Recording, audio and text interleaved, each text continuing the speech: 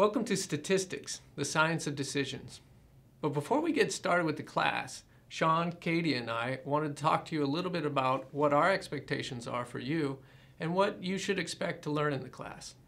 As you know, this is an online course, and online courses differ greatly from in-class courses. First, you will not be coming to a classroom two to three times a week. Instead, you'll be working from home or wherever, whether it's on a mobile device, a tablet, or a PC. One thing that you should notice is that this is a self-paced course. That means you are responsible for deciding when and where you complete the material. Because this is online and this is self-paced, a lot of the responsibility falls on you. You need to find the motivation to come to class, and by class, I mean going to the online course every day. It's important that you distribute your learning over time.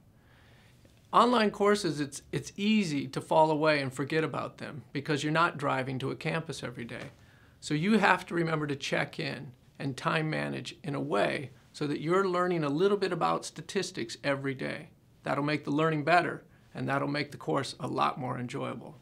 Yes, it is important for you guys to take responsibility, but the main objective is for you guys to learn. And yes, you're going to struggle sometimes, but that's the whole point.